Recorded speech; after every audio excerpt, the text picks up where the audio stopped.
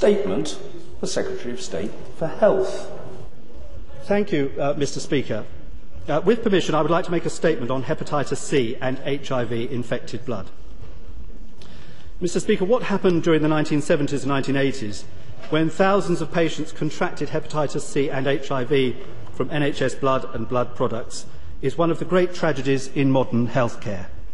It's desperately sad to recall that during this period, the best efforts of the NHS to restore people to health actually consigned very many to a life of illness and hardship. As the current Health Secretary, and on behalf of governments extending back to the 1970s, may I begin by saying how sorry I am that this happened, and to express my deep regret for the pain and misery that many have suffered as a result. It is now almost two decades since the full extent of the infection was established, and two years since the independent inquiry led by Lord Archer of Sandwell reported. The majority of Lord Archer's recommendations are in place, as are programmes of ex gratia payments administered by the Macfarlane Trust and the Eileen Trust for the HIV infected, and the Skipton Fund for those with hepatitis C. But significant anomalies remain, and I pay tribute to Lord Archer, to other noble lords, and to honourable members in this place from all parties for highlighting them. In October, my honourable friend, the member for Guildford, announced a review into the current support arrangements to look at reducing the differences between the hepatitis C and HIV financial support schemes and to explore other issues raised by members during the recent backbench debate, including prescription charges and wider support for those affected. We also asked clinical experts to advise on the impact of hepatitis C infection on a person's health and quality of life. and to consider whether an increase in financial support was needed. My honourable friend, the member for Guildford, met with representative groups to understand the impact these infections were having on people's lives. She also met many members in both houses who have been strong advocates on behalf of those affected. We've now considered the findings of the clinical expert group and accept that the needs of those with advanced liver disease from hepatitis C merit higher levels of support. At present, the amount of money paid to this group depends on the seriousness of the infection. There are two stages at which the Skipton Fund will make a payment. The first is when the person develops chronic hepatitis C infection. At this point, a person is eligible for a stage one relief payment, currently a lump sum payment of £20,000. Some may reach a second stage of developing advanced liver disease, such as cirrhosis or cancer, or requiring a liver transplant. They then become eligible for a stage two payment, which is currently another lump sum payment of £25,000. Under new arrangements we will introduce, this second stage payment will increase from £25,000 to £50,000. This will apply retrospectively. So if a person has already received an initial stage two payment of £25,000, they will now get another £25,000 lump sum, bringing the total £50,000. In addition to this, we will also introduce a new annual payment of £12,800 for those with hepatitis C reaching this second stage. This is the same amount as those who were infected with HIV receive. Those infected with both HIV and hepatitis C from contaminated blood will now receive two annual payments of 12,000 £800 if they meet the stage 2 criteria. One payment for each infection along with the respective lump sums. And all annual payments made, both to those uh, infected with HIV and those with hepatitis C, will now be uprated annually in line with the Consumer Prices Index to keep pace with living costs. Mr Speaker, we know that some of those infected with HIV or hepatitis C from NHS blood and blood products face particular hardship and poverty. Those infected with HIV can already apply for additional discretionary payments from the Eileen Trust and the McFarland Trust, but no equivalent arrangements are in place for those infected with hepatitis C. So we will now establish a new charitable trust to make similar payments to those with hepatitis C who are in serious financial need. These payments will be available for those at all stages of their illness based on individual circumstances. Discretionary payments will also be available to support dependents of those infected with hepatitis C, including dependents of those who have since died. Again, this will echo the arrangements in place for those infected with HIV and enable us to give more to those in greatest need. And we must also ensure that those infected through NHS blood and blood products get the right medical and psychological support. I can therefore announce two further measures. First, that those infected with hepatitis C or HIV will no longer pay for their prescriptions. They will now receive the cost of an annual prescription prepayment certificate if they're currently charged for prescriptions. Secondly, the representative groups raised the issue of counselling support for those infected with blood and blood products. We fully recognise the emotional distress they have experienced. As a result, we will provide £300,000 over the next three years, allowing for around 6,000 hours of counselling to help these groups. Mr Speaker, whilst we focus on those still living with infections, we must also recognise the bereaved families of those who have died. At present, no payment can be made to those infected with hepatitis C who passed away before the Skipton Fund was established. This is a source of understandable distress for those who survive them, and it's something we now want to put right. I can therefore announce that until the end of March 2011, there will be a window of opportunity where a posthumous claim of up to £70,000 can be made on behalf of those infected with hepatitis C who died before 29th of August 2003. A single payment of £20,000 will be payable if the individual had reached the first stage of chronic infection. Another single payment of £50,000 will be made if their condition had deteriorated to the second stage, where they suffered serious liver disease or required a liver transplant. We will work with the Skipton Fund and various patient groups to publicise this new payment to those who may benefit.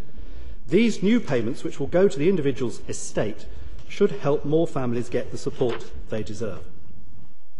Mr Speaker, taken together, these announcements represent a significant rise in the support available to those affected by this tragedy. Putting an exact figure on the package is difficult, but as there is some uncertainty about how many will be eligible and how their illnesses may progress. However, we believe these new arrangements could provide some 100 to 130 million pounds worth of additional support over the course of this Parliament. All payments will be disregarded for calculating income tax and eligibility for other state benefits, including social care.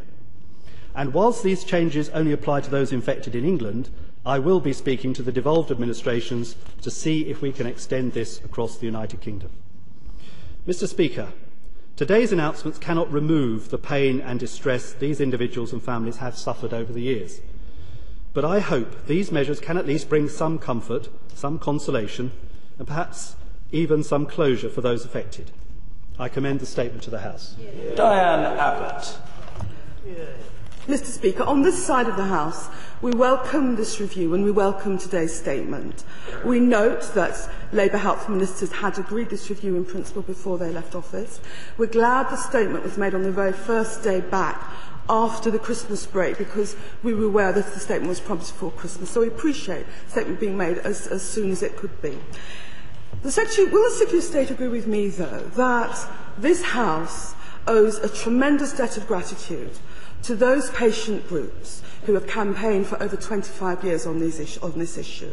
This includes the Haemophilia Society, the Hepatitis C Trust, the Tainted Blood Group, the Manor House Group, and individuals such as Hayden Lewis, who unfortunately passed away before he could see this, this resolution. Without the campaigning over two decades of these groups and these individuals, this issue has been one of private misery and private suffering. It's because they campaigned and kept it before the public and kept it before the eyes of politicians that we're able, I think, to move decisively towards a proper resolution today.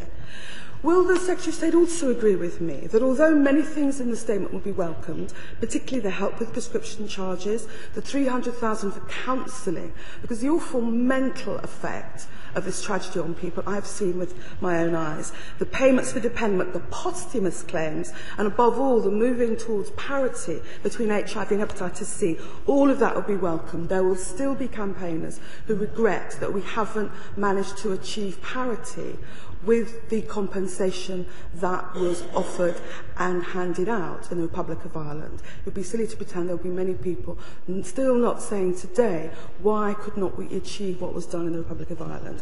And finally, will the Secretary of State agree with me that when you remember that over 4,500 completely innocent and trusting patients contracted either HIV or hepatitis C or both as a consequence of this tainted blood.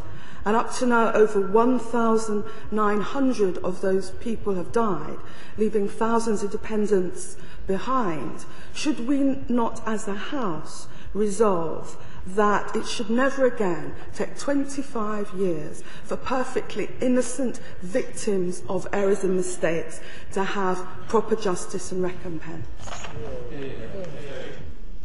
Um, I, um, I'm grateful to the Honourable Lady and I entirely endorse um, both her opening and closing remarks there, um, both in um, uh, paying tribute to all the patient groups. And my, my honourable friend, the member for Guildford, has um, uh, met uh, many of those groups, many of those individuals, uh, and she, I know, would heartily endorse uh, what the honourable lady has said in terms of how they have um, brought these issues time and again to the forefront of um, attention in this house and in the other place.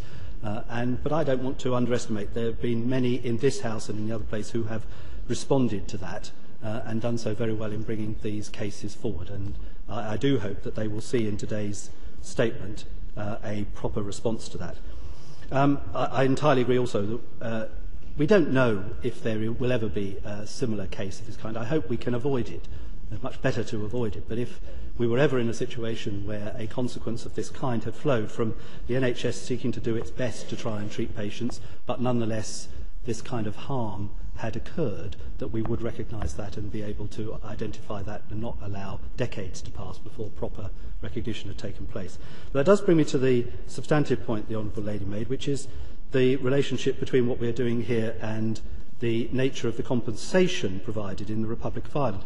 As we explained in October, um, we don't regard these as comparable cases. In the Republic of Ireland, there were mistakes made by the uh, Irish Blood Transfusion Service, which uh, led to a recognition of liability, which leads to a um, determination of compensation. In this country, we are not providing compensation. We are literally recognising the harm that has occurred, notwithstanding that the NHS at the time um, sought to provide uh, the treatment that it thought was in the best interests of patients.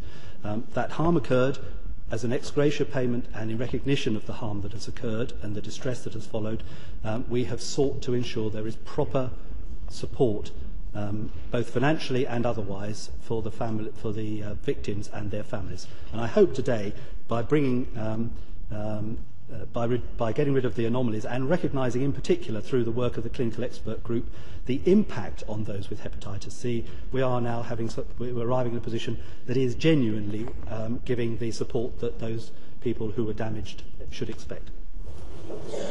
Jonathan Evans. Mr. Speaker, whilst welcoming the statement that's been made by my right honourable friend, I think I should just make the point that uh, Lord Archer did recommend, however, that there should be compensation along the Irish line. So that's a little bit of the context of what's taken place. May I take the opportunity of congratulating also his uh, friend, the Honourable Member for uh, Guildford, for all the work that she's done in relation to this, which I know has been welcomed across the House. Can I ask him about the specific position in Wales? I was a little taken aback by the fact that he said he intends to speak to fellow ministers in Wales. I have a statement from the Welsh Minister indicating that, as far as she's concerned, These issues come next to be considered by her in 2014, which was the previous agreement with the Department of Health. And I think many of my constituents will want to know what discussions have so far taken place and whether this is something that will be replicated in the Principality.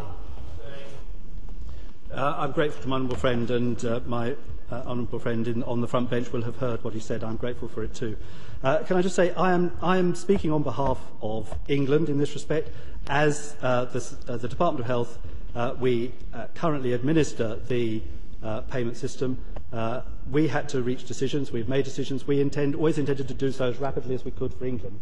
Um, but as I explained in my statement, uh, these decisions have yet to be made by the devolved administrations. I think it is reasonable on their part for them to see the review report that I'm publishing today, not least the clinical expert review that goes with it, in order for them to make their own decisions. But it will be decisions that they must make, but clearly from my point of view, if they wish us to continue to administer it on the same basis across the United Kingdom, we would be happy to do so. Diana Johnson.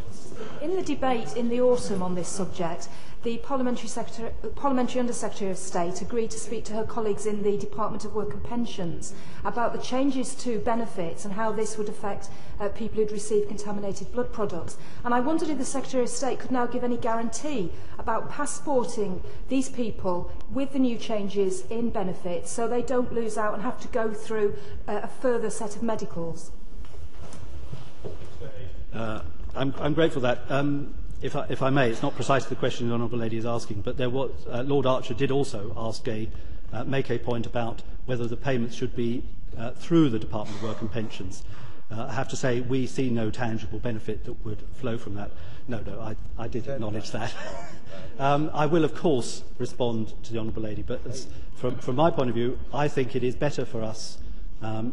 to administer this, all of these payments through the um, the system that I have set out. Um, as I said, they will be disregarded for the purposes of um, calculation of benefits. So to that extent, they will not impact adversely on their current benefits. Jason McCartney. Uh, thank you, Mr Speaker. Having spoken in the debate back in October and having asked the question in Prime Minister's questions in November, I'd very much like to welcome uh, a number of elements of the Secretary of State's uh, statement earlier, particularly on the free prescriptions uh, and also the counselling help. However, would the Secretary of State uh, perhaps uh, promise to uh, meet the tainted blood campaigners and perhaps even think about looking at the overall level of, of compensation? could I say to my honourable friend um, uh, two things? Firstly, um, my, my, my honourable friend, the minister, has met those groups, and I know will uh, continue to um, uh, meet them because it's, we want to ensure that, not least, that those who are going, now eligible for enhanced payments and so on um, do make proper applications for that. But I have to say to the Honourable as far as, as far as we are concerned, we have looked very carefully with the clinical expert group at the nature of the um, support that we ought to give. Uh, it is not compensation as such. It is an ex gratia form of support. Uh, we have made judgments. If we were to go further, there would be significant additional costs involved. I've made clear to the House, or my honourable friend and I have made clear to the House in the past, that to provide payments on the scale of the Republic of Ireland could be um, up to three and a half, perhaps even in excess of three and a half billion pounds a year. So I'm not in a position to say to my honourable friend that I expect to be able to go beyond the level of support that I have set out today. Mr Andrew Slaughter. Uh, it's to be regretted that the uh, that in, in producing this review the terms of reference were so narrow and it didn't look at overall level of conversation and at, at HIV. But if, if the Secretary of State is saying that in the case of the Republic of Ireland it is simply too expensive, then please will he say so and not rely, as, as the department has previously, on either that the tainted blood campaigners and others are asking him to um, are asking him to look at the uh, that as, as tying us to the Irish system, or asking us to uh, effectively look at those levels of compensation because there's negligence involved, because that wasn't the case in Ireland. Isn't the result of this likely to be more litigation because these levels of remuneration are still far too low? Yeah. Well, with respect to the Honourable General, I think, uh, with respect to the Honourable Gentleman, I, I think in response to previous questions, I made it very clear that I wasn't saying that it was about simply the question of the amount of money, that it's actually their, the, the Republic of Ireland situation is a unique situation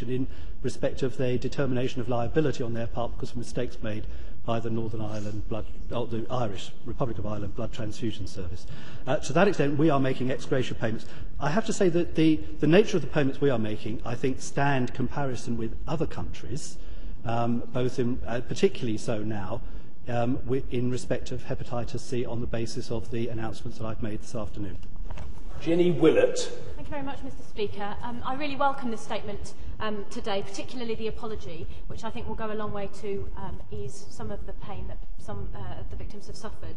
Um, and proper support for those affected with hepatitis C is very long overdue.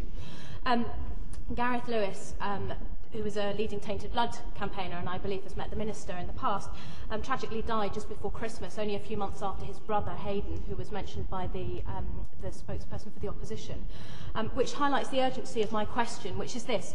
Um, government is not known for moving quickly, particularly when it involves handing out money.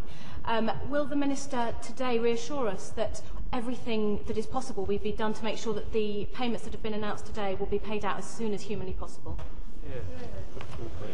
Yes, can I pay tribute to my honourable friend because I know that she has, uh, on many cases, on many occasions in the past, spoken up on behalf of her constituents and others who were affected um, by tainted uh, by the blood and blood products provided.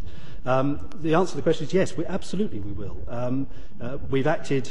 Uh, we, we came when we came into office, we were determined to implement the review. We made it clear that we sought to as the Honourable Lady said, we sought to complete the review before Christmas. I think technically speaking, we did complete the review before Christmas, but we're not in a position to announce it before Christmas. Um, so we're doing this at the first available moment. And I do urge one of the things we will do is do everything we possibly can to ensure that those who are potential beneficiaries will be notified and reached as quickly as we possibly can so that those payments are in place as quickly as we can.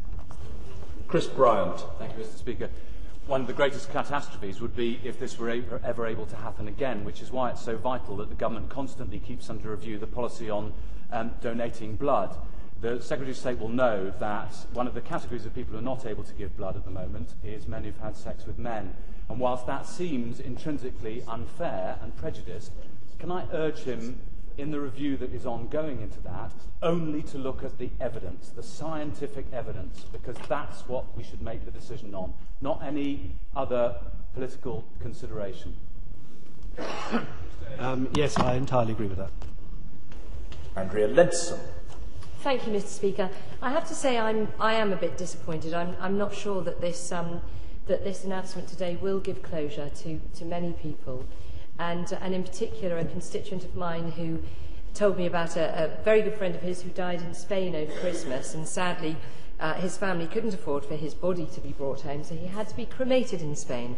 And I do think it would be very important under the circumstances that um, the ex gratia payments available through the new charity that's to be set up will take into account the very tragic and very particular problems of individual sufferers.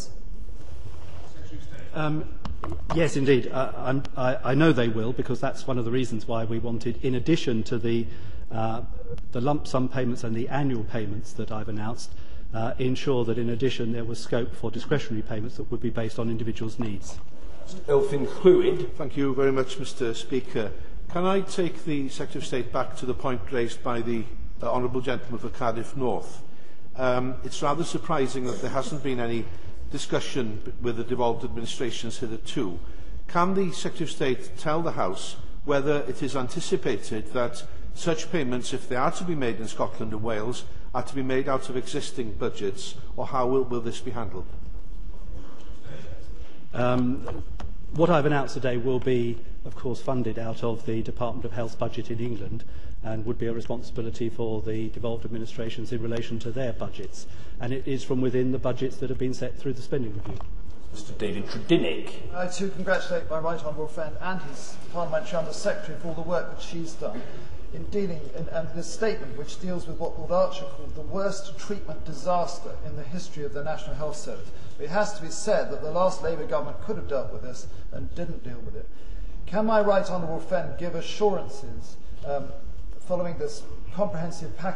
which he's announced, that he will make sure, take active steps to contact the families of the bereaved, and that there will be no stone left unturned to make sure that all of those who should have payments receive payments. Uh, yes, indeed, I can give my honourable friend that assurance. We will take all steps that we possibly can, um, not least, of course, for those who were um, uh, the bereaved families of those who died before the 29th of August 2003, um, because uh, that has been, uh, amongst others, an anomaly which has really ought to have been rectified long ago. Owen Smith. Thank you, Mr. Speaker. May, may I also welcome the statement, welcome in particular the very serious and uh, commendable way in which the Minister of State has dealt with this important issue. People who really need to be congratulated today, though, are the campaigners people such as the family of Lee Sugar, my constituent in Wales. Um, may I take the Secretary of State back to his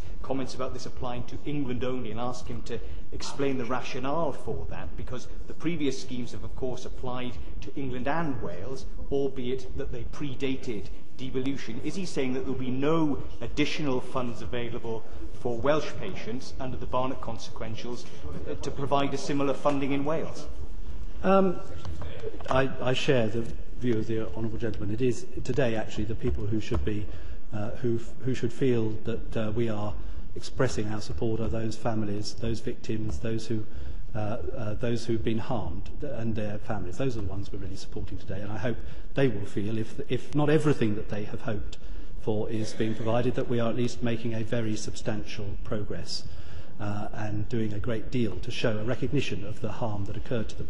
Um, so far as the position, I, I, I, uh, this is Spatchbox. I, I speak on health matters for England. I don't speak for Wales.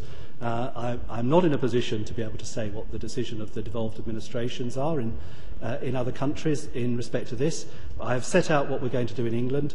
Uh, we are funding it from within the budgets that have been allocated, so there are no barnet consequentials that flow from this. So these will be matters to be determined within each of the other administrations as to whether they wish to share in the arrangements that I've described. Mr Adrian Sanders.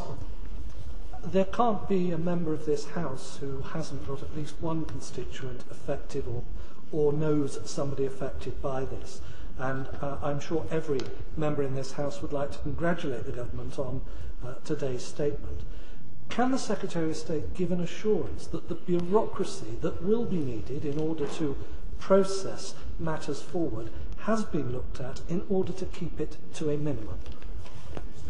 Um, yes, I can, I can say to my honourable friend exactly we have done that. Um, can I just say, it'd be helpful, I mean, he's absolutely right. Members in this House very often will themselves have met um, constituents or con uh, the families of those uh, who were harmed or indeed the families of those who died. So I do hope that they will take the opportunity to bring uh, the uh, terms of this statement today to their attention so that they can access the additional support at the earliest possible time. We will seek to do it, and, and I think what I'm describing, so far as possible, builds on existing mechanisms, so doesn't lead, with the exception of the new discretionary trust, doesn't uh, create any additional bureaucracy in order to make it happen. Order. I'm very well aware of the strong interest of the Honourable Member of Coventry North West in this subject and his track record on the issue in the House. The reason why I haven't called him, and I wasn't intending to call him, is that as far as I'm aware, the Honourable Gentleman was not here for the start of the statement. If I'm wrong, I'm very happy to concede I'm wrong, but if I'm right, that's the way it has to be for today. The Honourable Gentleman is a very experienced parliamentarian, and I'm sure he'll find other ways to make his point when he wants to make it. Dr Lee. Thank you, uh, Mr Speaker. Um, can I first welcome the Secretary of State um, for his statement today? Um, during the debate in October, I, I drew attention to the figure that was quoted of £3.5 billion um, pounds that the, the Irish compensation scheme would, would cost, and I, I was concerned about the accuracy of this figure. At the time, on the, in the, the, the, this was placed in the library, and it to justify it, it had indicated there'd been informal discussions. I've since found out that that was a telephone call that was unminuted. And when I pointed this out, it was, I was assured that there would be further conversations with uh, uh, Republic of Ireland officials. Could you confirm that those took place? And if there are details available, could they be placed in the library, please? Yeah, uh, I'm grateful to my honourable friend. He, um, he, he will know from the response my um, honourable friend the Minister gave to the backbench debate in October that Um, we intended to place a note in the Library of the House. Uh, we have done so. She has held, had further occasions with uh, colleagues in the House to discuss these arrangements. As far as I'm concerned, the, um, uh, the discussions between my officials and officials in the Republic of Ireland have confirmed that uh, a figure of about £750,000 is not inappropriate as an estimation of the um, level of compensation per individual paid in the Republic of Ireland, which, of course, on that basis um, would support the view that we took in this House that the cost of providing compensation, were one to do so, on the scale of the Republic of Ireland would be of the order of £3 billion, in excess of £3 billion. However, I, I do say, as I said to um, the um, Honourable Member from Ealing previously, um, that uh, it is not on the basis of the cost um, alone uh, that we have reached this view. In fact, it is on the basis that the circumstances in Republic Island are unique and do not apply in this country. And therefore, we have assessed the case for support on the basis of the circumstances here and on an ex gratia basis, not on the basis of liability and consequent compensation. Stephen Barclay. I, uh, I also thank the Minister for um, the very welcome measures uh, in this statement and the progress that's been made after so long. Could I just come back to that average figure of 750,000?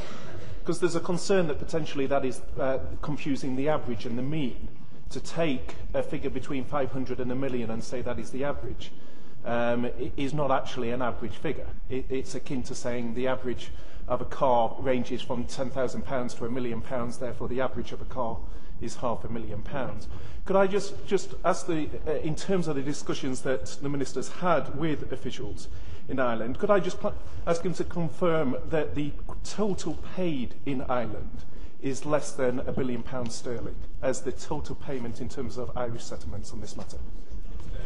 Um, as, as with my honourable friend in the previous question, I do pay tribute to the work that my honourable friends have done in support of their constituents and others. Uh, can I just say, um, I, I personally don't think, uh, I, I think it is not simply a question of trying to calculate what the level of compensation is in Ireland. That is not the issue.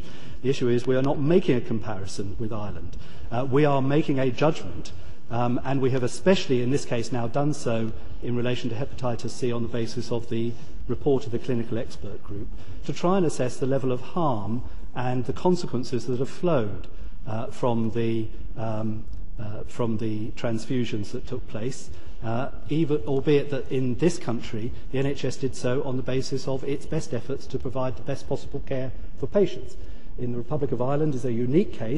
and is quite distinct from that, in that um, because of mistakes made, uh, a finding of liability was arrived at, which leads to compensation. In our case, we are not um, in that position. We are in the position of recognising uh, the harm and distress that has occurred, and through an excgracious scheme providing support to, the, um, to those who have been harmed and their families. Yeah. Mr Duncan Hames. Thank you, Mr Speaker. I'd like to thank the Secretary of State for bringing the government's deliberations on this issue to, to this conclusion. Can, can he reassure this House uh, that those experiencing the symptoms of advanced liver disease uh, who receive contaminated blood will not in all cases be required to have a liver biopsy in order to demonstrate and establish their eligibility for these payments? Um, no, for, from our point of view, it will be, simply be on the basis of a diagnosis of their condition. Mr David Mowat. Uh, thank you, Mr Speaker. Um, I too welcome this statement, in particular the attempt to get parity or better parity between HIV and hepatitis C. Uh, the issue that remains for me, though, a little bit is the definition of stage two. I would ask the Minister what proportion of hepatitis C a complainant does he expect to progress to, to a stage two? he must have estimated this to have a financial uh, amount on the, on the settlement.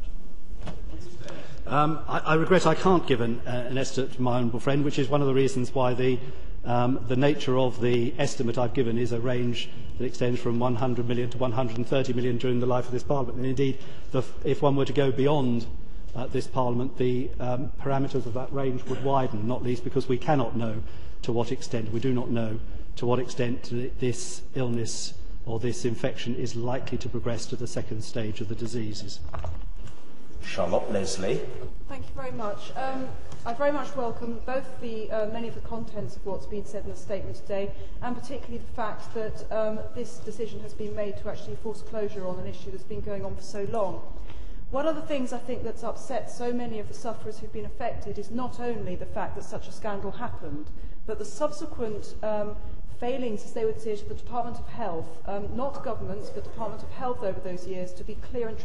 transparent in providing information from what actually happened.